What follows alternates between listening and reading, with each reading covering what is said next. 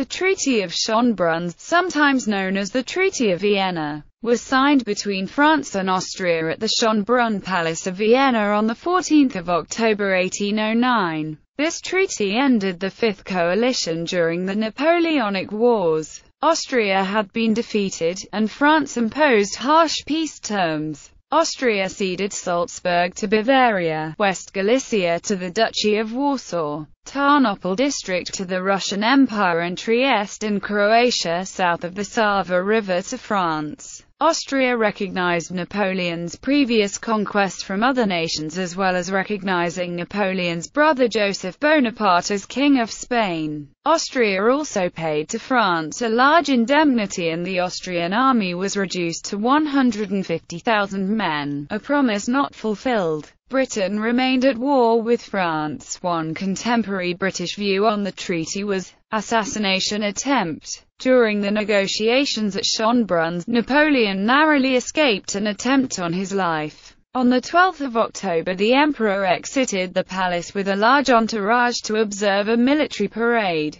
A 17-year-old German patriot, Friedrich Staps, demanded an audience with Napoleon to present a petition, but was refused by the emperor's aide Jean Rapp. Shortly thereafter, Rapp observed Staps approaching Napoleon from a different direction, and had him arrested. Taken to the palace, Staps was found to be carrying a kitchen knife inside his coat, concealed inside the petition. Staps then admitted his plans to kill the emperor. Napoleon asked whether Staps would thank him if he was pardoned, to which Staps replied, I would kill you nonetheless. Napoleon left Vienna on the 16th of October and the next day Staps was shot outside the palace. At this execution, he is said to have shouted, Long live freedom! Long live Germany! Staps soon came to be seen as a martyr of the burgeoning German nationalism. He was the subject of a poem by Christian Friedrich Hebbel and a play by Walter von Molo.